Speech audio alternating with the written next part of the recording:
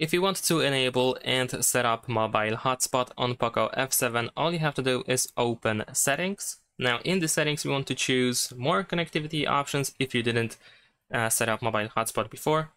And then here at the top, we have mobile, uh, sorry, portable hotspot. In this case, before we actually turn it on, we can go to set up a portable hotspot. And here we can, for example, change the password, change the name of our network, and we also have security settings and so on and so forth. Once you are done over here, you can simply turn on the hotspot by tapping on this switcher, and then the hotspot is created. You can also find share QR code in order to, of course, uh, share the QR code with other devices if it's possible for them to scan the QR code so that they can connect.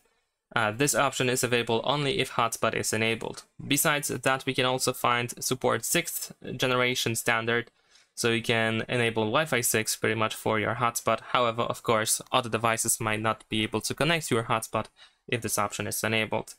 And that's pretty much it. You can also go to Control Center in order to find the option that allows you to easily turn on or off mobile hotspot.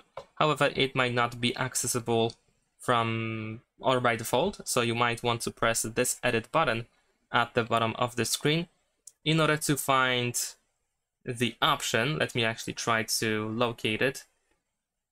Let's see if I can find it. And, well, maybe actually, no, maybe it seems that actually this option is missing for some, no, actually, there we go. I'm blind, sorry about that. Over here we have the hotspot, so we can add it to the list, press this check in the top right corner, and then you can just tap over here on this button in order to toggle the mobile hotspot. So that's all. Thanks for watching, leave a like and subscribe.